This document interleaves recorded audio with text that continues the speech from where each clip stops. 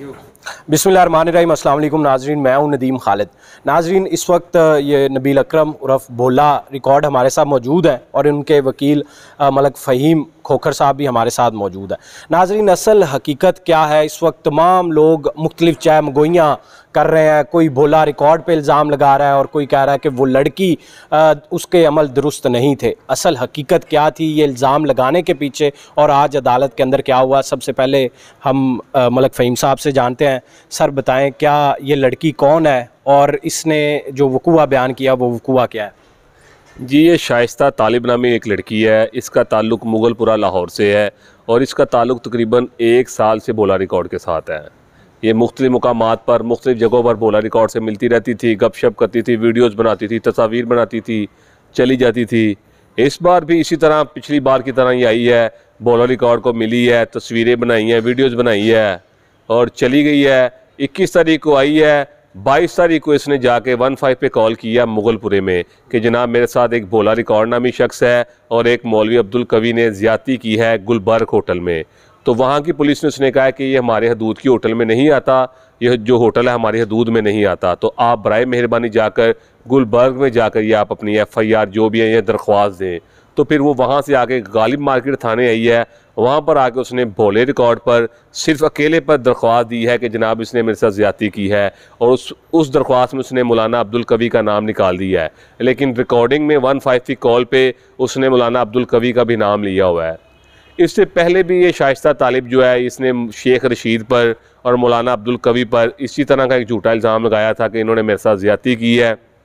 और उसका तीसरा शिकार, ये भोला रिकॉर्ड है, उन्होंने इन पर एफ़ आई आर करा दी है जनाबिल जबर की। और आज अलहमदिल्ला हमने बोला रिकॉर्ड की बुरी ज़मानत करवा ली है। इन ताला इन्वेस्टिगेशन में ये बात वाज तौर पर साबित हो जाएगी कि बोला रिकॉर्ड ने कोई ज़्यादा नहीं किया है और इन ताला अल्लाह ताला हमें इस मुकदमे में बाज़्ज़त बरी करेंगे। ये ऑन रिकॉर्ड इल्ज़ाम लगा चुकी है शेख रशीद पर और अब्दुल कवी पर इससे पहले? जी जी आप सोशल मीडिया पे देख लें मेरे दिल में नहीं था लेकिन आप अपने प्रोग्राम को दिखा दें नाजरीन को वीडियोस में इस प्रोग्राम के साथ लगा के दिखा दीजिएगा कि इस लड़की ने बड़े चैनल्स पे इंटरव्यूज़ भी दिए हैं कि जनाब मेरे साथ शेख रशीद और मौलाना अब्दुल कभी के साथ जो ताल्लुक़ रहे हैं, मेरे साथ ज़्यादा हुई है, जब भी, जो भी है सच ऐसी कोई बातें। और अब उसने बोला रिकॉर्ड पर ये इल्ज़ाम लगाया कि जनाब मेरे साथ इसने जनाब जबर किया है और उसके बाद लड़की का बड़ी वाजह तौर पर बयान है कि जी इक्कीस तारीख को वकूआ हुआ है और 21 के बाद 22 तारीख को लड़की ने जाके 24 घंटों के बाद उसको ख्याल आया कि इस पे तो एफआईआर भी बनती है। हालाँकि अगर किसी का साथ ज़्यादती होती है तो वो कोई गली महल्ले का होटल नहीं है।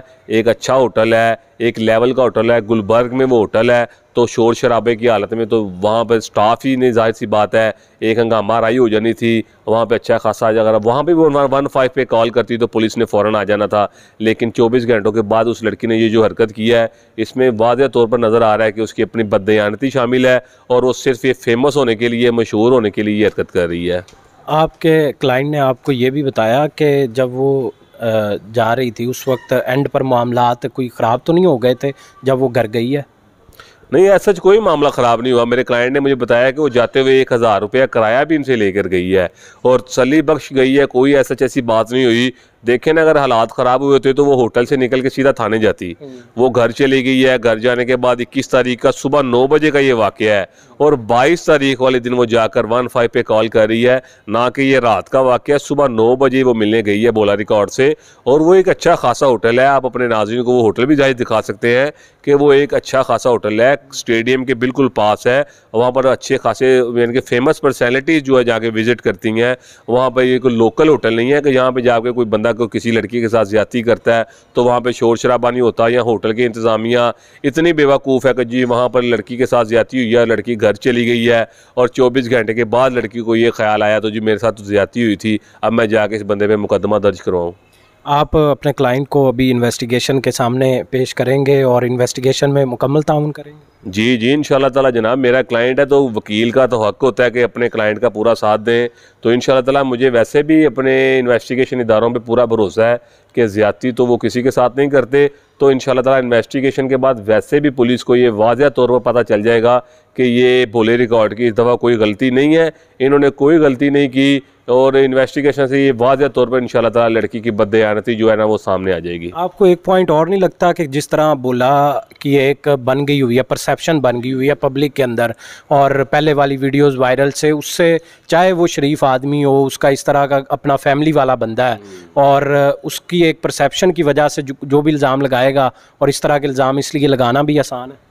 वो आपकी बात इसमें काफ़ी सदाकत है। बात ये, लेकिन बात ये मैं जहाँ तक इन्हें जानता हूँ कि ये एक लोगों को खुश करने वाला बंदा है। आप स्ट्रीट ड्रामा देखने जाते हैं, उसमें मशहूर पर्सनैलिटीज़ आती हैं, वो जुगते मारते हैं, डांस करते हैं, लेकिन उनकी असल हकीकत में उनकी ज़िंदगी कुछ और होती है। हम लोग किसी की ज़ाहरी सूरत हाल देकर शायद ये अंदाज़ा लगाते हैं, ये बंदा किस तरह का है। कभी कभी इंसान आपको किसी दूसरे के पाँव में पहने हुए जूते बहुत खूबसूरत लगते हैं। लेकिन उन जूतों में जो पाँव होते हैं ना, वो बहुत तकलीफ़ में होते हैं, क्योंकि वो जूते उन्हें लग रहे होते हैं। इसी तरह कई आपकी ज़िंदगी में ऐसे रिश्ते होते हैं, जो बज़ाहिर आपको बहुत खूबसूरत नज़र आते हैं, लेकिन वो रिश्ते अंदर से बड़ी तकलीफ़ में होते हैं। ये लोग बेचारे हम लोगों को हंसाने के लिए, फेम लेने के लिए, खुश होने के लिए अपना पेट भरने के लिए लोगों को हंसाते हैं। यकीन करें, ये मेहनत करते हैं बेचारे। इसमें कोई ये लोगों का गलत नहीं सोच रहे होते। हम दिन में कई हार लोगों को गालियाँ देते हैं, लेकिन एक शख्स की तीन चार गालियाँ जो ऑन द रिकॉर्ड आ गई हैं तो लोगों ने जनाब इन्हें बुरा भला कहना शुरू कर दिया।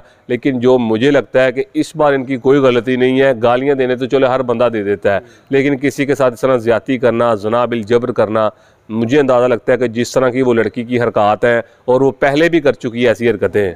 चले यहाँ तो पहले उसका रिकॉर्ड ना ना मौजूद हो। उसका पहले भी रिकॉर्ड मौजूद है कि उसने शेख रशीद पर इल्ज़ाम लगाया है, उसने मौलाना अब्दुल कवी पर इल्ज़ाम लगाया तो इस बार भी उसने फ़ेमस होने के लिए बोला रिकॉर्ड को अपना शिकार बना लिया बोला रिकॉर्ड साहब, आप बताएँ, ये आपको तो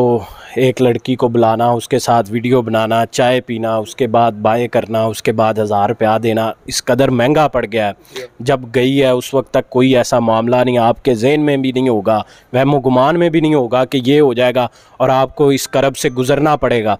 तो क्या आपको लगता है आपके आखिर तक मामला ठीक थे उस लड़की के साथ? किस तरह का ताल्लुक था? भाई जान ए कुड़ी का मेरा साल बड़ा अच्छा तलक रहा वे। ਇਹ ਕੁੜੀ ਨੇ ਵਕੂਆ ਕਰਾ ਲਿਆ 21 ਤਰੀਕ ਦਾ ਠੀਕ ਹੈ 21 ਤਰੀਕ ਨੂੰ ਆਈ ਇਹ ਕੁੜੀ ਬੁੱਧ ਵਾਲੇ ਦਿਨ ਮੇਰੇ ਕੋਲ ਆਈ ਉਦੋਂ ਕਿਉਂ ਨਹੀਂ ਆਂਦੇ ਨਾਲ ਆਇਆ ਬੁੱਧ ਤਵਾਰ ਨੂੰ ਜਾ ਕੇ ਨਾਲ ਲੈਣਾ ਕਿ ਤਵਾਰ ਨੂੰ ਮੈਂ ਜਾਤੀ ਕੀਤੀ ਬੁੱਧ ਨੂੰ ਆਈ ਇਹ ਆ ਕੇ ਵੀਡੀਓ ਸ਼ੂਟ ਬਣਾਈ ਟੁਰ ਗਈ ਤਵਾਰ ਨੂੰ ਆਈ ਵੀਡੀਓ ਬਣਾਈ ਪਤਾ ਨਹੀਂ ਕੀ ਦਿਮਾਗ ਸੋਚ ਕੇ ਆਈ ਕਿ ਅੱਜ ਹੀ ਭੋਲੇ ਪਤਾੜਾ ਤੇ ਮੇਰੇ ਕੋਲ ਖਲੋ ਕੇ ਮੈਨੂੰ ਕਹਿੰਦੀ ਇਹ ਮੌਲਵੀ ਕਵੀ ਕੰਜਰ ਆਇਆ ਮੈਂ ਉਹ ਕੌਣ ਹੈ ਮੈਨੂੰ ਨਹੀਂ ਪਤਾ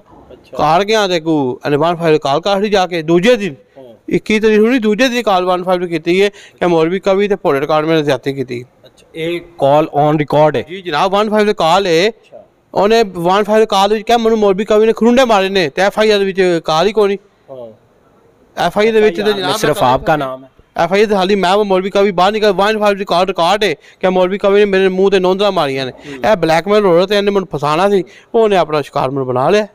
ਤੇ ਮੈਂ ਆਪਣੇ ਕਾਨੂੰਨ ਕੋਲ ਆਪਣੇ ਜੱਜ ਸਾਹਿਬਾਂ ਕੋਲ ਤੇ ਪੰਜਾਬ ਗਵਰਨਮੈਂਟ ਕੋਲ ਮੈਂ ਤੋਹਫਾ ਚਾਹਨਾ ਵਾ ਤੇ ਜੋ ਕੋਈ ਹੈ ਬਲੈਕ ਬਲੈਕਮੇਲ ਹੋ ਰਿਹਾ ਤੇ ਇਹਨੂੰ ऐसी सजा दी जाए तो मेरा जो पर्चा खारिज किया जाए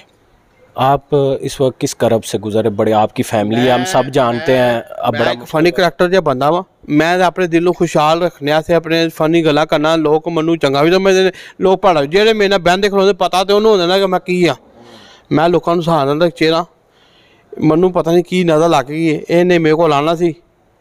ਮੈਂ ਤੁਹਾਨੂੰ ਫੇਰ ਕਹਿ ਰਿਹਾ ਮੈਂ ਤੁਹਾਨੂੰ ਵੀਡੀਓ ਦਾਂਗਾ ਤੁਸੀਂ ਆਪਣੇ ਚੈਨਲ ਵੀਡੀਓ ਵਹਾਣੀਆਂ ਨੇ ਹੱਸਦਿਆਂ ਖੇਡਦਿਆਂ ਵੀਡੀਓ ਬਣਾਈਏ ਗਾਣਿਆਂ इसी लड़की के साथ रोमांटिक वीडियो बनाइया ने अच्छा ये लड़की आपके साथ पहले रोमांटिक वीडियो बना रही कोई टेंशन नहीं कोई उसमें ਜੇ ਮੈਂ ਜ਼ਨਾ ਕਰਨਾ ਹੁੰਦਾ ਤਾਂ ਮੈਂ ਰੋਮਾਂਟਿਕ ਵੀਡੀਓ ਬਣਾਉਂਦਾ ਅਸੀਂ ਖੇਡੀ ਮੇਰਾ ਵੀਡੀਓ मैं ਤੁਹਾਨੂੰ ਵੀਡੀਓ ਦਾਂਗਾ ਤੁਸੀਂ ਇਸ ਚੈਨਲ ਤੇ ਲਾਈਓ ਜ਼ਰੂਰ नाजरीन ये साथ साथ आप स्क्रीन पर इस वक्त वीडियोस देख भी रहे होंगे जो बोला रिकॉर्ड जिनका तस्करा कर रहे हैं इस वक्त ਬਹੁਤ ਦਾਲੇ ਦਿਨ ਮੇਰੇ ਕੋਲ ਆਈ ਹੈ ਤੇ ਤੁਹਾਰ ਨੂੰ ਆਈ ਹੈ ਬਹੁਤ ਦਾਲੇ ਕਿਉਂ ਨੇ ਮੇਰਾ ਇਲਜ਼ਾਮ ਲਾਇਆ ਕਿ ਉਦੋਂ ਮੈਂ ਸੁੱਤਿਆ ਹਾਂ ਬੁੱਧ ਨੂੰ ਵੀ ਆਈ ਹੈ ਮੇਰੇ ਕੋਲ ਕੈਮਰੇ ਦੀ ਰਿਕਾਰਡਿੰਗ ਵੀ ਹੋਈ ਹੈ ਟੀਵੀ ਦੀ ਮੇਰੇ ਕੋਲ ਬੁੱਧ ਦੀ ਮੇਰੇ ਕੋਲ ਤੁਹਾਨੂੰ ਪਤਾ ਸਨੈਪਚੈਟ ਵੀਡੀਓ ਬਣਾਈ ਹੈ ਤੇ ਰਿਕਾਰਡਿੰਗ ਆ ਜਾਂਦੀ ਉੱਤੇ ਲਿਖਿਆ ਆ ਜਾਂਦਾ ਕਿ ਬੁੱਧ ਦੀ ਵੀਡੀਓ ਹੋਵੇ ਤੇ ਤੁਹਾਰ ਦਾ ਵਕੂਆ ਨੇ ਹਾੜ ਜਾ ਕੇ ਸਵਾਰ ਵਾਲੇ ਦਿਨ ਦਾ ਇਹ ਬਲੈਕਮੇਲ ਹੋ ਰਿਹਾ ਤੇ ਜਨਾਬ ਇਹਨੇ ਮੈਨੂੰ ਫਸਾਣਾ ਸੀ ਤੇ ਮੈਂ ਆਪਣੇ ਇਨਸ਼ਾਅੱਲਾ ਤਾਲਾ ਪੰਜਾਬ ਗਵਰਨਮੈਂਟ ਕੋ ਤੇ ਜੱਜ ਸਾਹਿਬ ਕੋ ਇਨਸਾਫ ਚਾਹਨਾ ਮੈਂ ਇੱਕ ਫਨੀ ਕਰੈਕਟਰ ਬੰਦਾ ਇਹ ਪੇਸ਼ੇਵਰ ਔਰਤਾਂ ਨੇ ਦੋ ਨੰਬਰ ਔਰਤਾਂ ਲੋਕਾਂ ਨੂੰ ਪਸੰਦੀਆਂ ਨੇ ਤੇ ਇਹਨਾਂ ਦਾ ਕਾਰੋਬਾਰ और क्या आप अभी पैगाम देंगे दूसरे लोगों को इस तरह के लोगों से कैसे बचा जा ਮੈਂ सकता है ਲੋਕਾਂ ਨੂੰ ਇਹ ਕਹਾਂਗਾ ਸਸਤੀ ਸ਼ੋਹਰਤ ਕਰਨੇ ਅਸੀਂ ਅੱਜ ਕੱਲ੍ਹ ਇਹ ਕਾਨੂੰਨ ਬਣ ਗਿਆ ਜਿਹਨੂੰ ਫਸਾਣਾ ਹੋਏ ਨਾ ਤੇ ਤੇ ਤੇਰਾ ਵੀ ਪੈਂਟ ਪਰਚਾ ਦੇ ਇਹ ਵਾਲਾ ਪਰਚਾ ਛੇਤਾ ਦਾ ਪਰਚਾ ਦੇ ਦਿਓ ਤੇ ਬੜੇ ਆਰਾਮ ਨਾਲ ਬੰਦਾ ਫਸਾ ਲਓ ਇਹ ਇੱਕ ਕਾਰੋਬਾਰ ਬਣ ਗਿਆ, ਭਾਈ ਟ੍ਰੈਂਡ ਬਣ ਗਿਆ। ਜਿਹੜਾ ਖਾਂਦਾ ਪੀਂਦਾ ਬੰਦਾ ਹੁੰਦਾ, ਜੇ ਜੇ ਨਾ ਹੁੰਦਾ ਨਾ, ਤਾਂ ਮਿੰਟ ਦਾ ਕੰਮ ਹੈ, ਬੀਬੀ ਜਾਂਦੀ ਹੈ ਭਾਵੇਂ ਆਪਣੀ ਰਜ਼ਾਮੰਦੀ ਨਾਲ ਜੇ- ਜਾਂਦੀ ਹੋਵੇ। ਪਹਿਲੀ ਗੱਲ ਸੋਚੋ, ਇਹ ਬੀਬੀ ਮੇਰੇ ਕੋਲ ਆਈ ਹੈ ਮੈਂ ਨਹੀਂ ਇਹਦੇ ਕੋਲ ਗਿਆ। ਰਜ਼ਾਮੰਦੀ ਨਾਲ ਆਈਏ ਨਾ ਆਈਏ ਵੀਡੀਓ ਸ਼ੂਡੀਓ ਬਣਾਈਏ ਘਰ ਜਾ ਕੇ ਇਹਨੇ ਦੂਜਾ ਛੋਟਾ ਚਾਰਟ ਰਹੇ बिल्कुल नाजरीन, हम ये मुतालबा करते हैं सी सी पी ओ लाहौर से डी आई जी इन्वेस्टिगेशन से एस एस पी इन्वेस्टिगेशन से। ये आम मामला नहीं है। इस तरह के इल्ज़ाम हमारे माशरे में पहले भी बहुत सारे लोगों पर लगते रहे हैं और उनको ब्लैक मेल किया जाता रहा है। और इसका वो नोटिस लेंगे, इसकी इंक्वायरी खुद करेंगे और उस खातून का करेक्टर भी, और भी वीडियोस जो हैं जो उसकी पहले भी मुख्तलिफ़ लोगों पर, इसी तरह मशहूर लोगों पर इल्ज़ाम लगा चुकी हैं। ये भी हरीम शाह करेक्टर टू मुझे लग रहा है कोई जो कि इस तरह के इल्ज़ाम, जो फ़ेमस लोग हैं, उनके ऊपर इस पहले वीडियो बनाते हैं, तस्वीर बनाते हैं, उसके बाद उनको ब्लैक मेलिंग के लिए एक दरख्वास्त और एक एफ़ आई आर काफ़ी होती है और अपने मुतालबात पूरे कर लेते हैं। लेकिन डी आई जी इन्वेस्टिगेशन और एस एस पी इन्वेस्टिगेशन उम्मीद करते हैं कि ऐसा नहीं होने देंगे और जो भी मुकम्मल इंक्वायरी करके अवाम के सामने हकैक लाएँगे और उस खातून का अगर उसमें कसूर होता है और ये झूठी एफ़ आई आर साबित होती है तो उसको सज़ा भी मिलेगी। इसी के साथ मुझे दें इजाज़त, अल्लाह निगेबान